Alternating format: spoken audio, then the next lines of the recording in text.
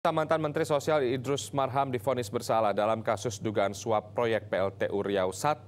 Idrus dihukum tiga tahun penjara dan denda 150 juta rupiah, subsidiar dua bulan kurungan.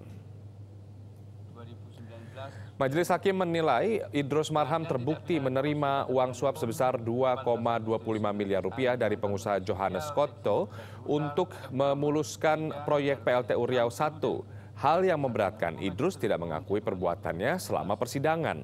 Sementara hal yang meringankan adalah Idrus tidak pernah dihukum sebelumnya. Menanggapi putusan hakim, Idrus dan penasehat hukumnya akan mempertimbangkan dalam waktu tujuh hari ke depan.